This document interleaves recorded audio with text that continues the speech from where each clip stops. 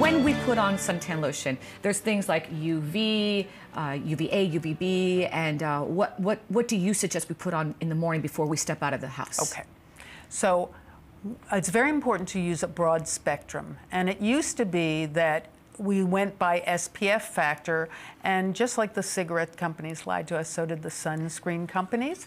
um, so they told us it stood for sun protection factor, but it really stood for sunburn protection factor.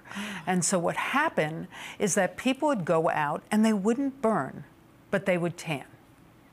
And um, what we discovered is about a decade after the rise in the use of sunscreens in the 70s, there was suddenly a rise in melanoma in the 80s. Wow. And people were saying, oh my goodness, see, sunscreens cause melanoma.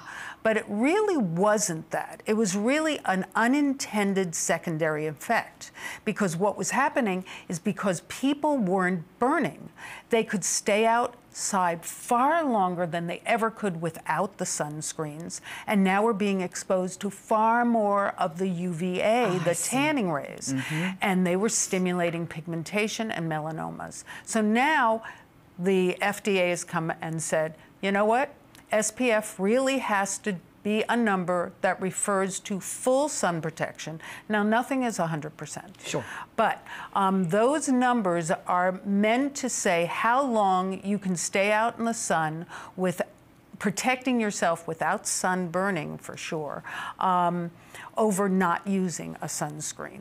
And so it's trying to address both the UVA, which is the tanning rays, and the UVB, which, Which is, is- the burning rays. Exactly.